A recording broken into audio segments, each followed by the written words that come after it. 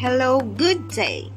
In today's video, I will teach you how to unlock the unforgotten TSA007 locker suitcase.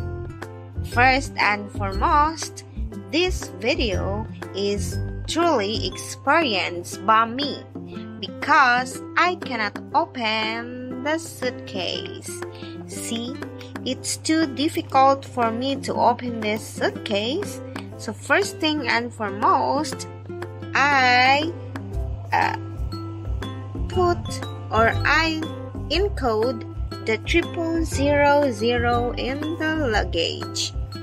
So I cannot open even if I put it in zero zero. So I put it combination of 999 but still it's not opening. And then I tried the 888 but still it's not opening. See, it's not opening.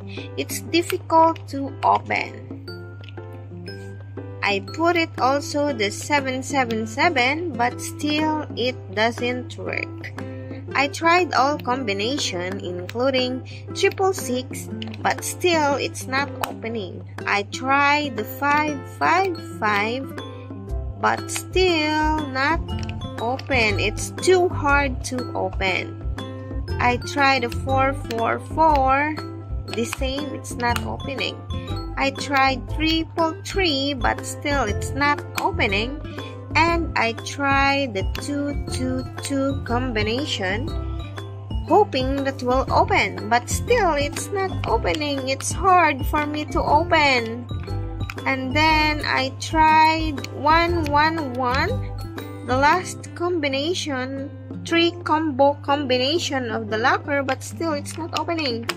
So I think of a one thing that I could truly open. And then once in a while in a blue moon I put it in zero zero and guess what? I tried to open the lock. Still not opening. And then my fingertips slide down in this lock. See this lock? I tried to push this one here and that's that it's open it's open guys. It's open. So I can open the suitcase now. It's opening guys.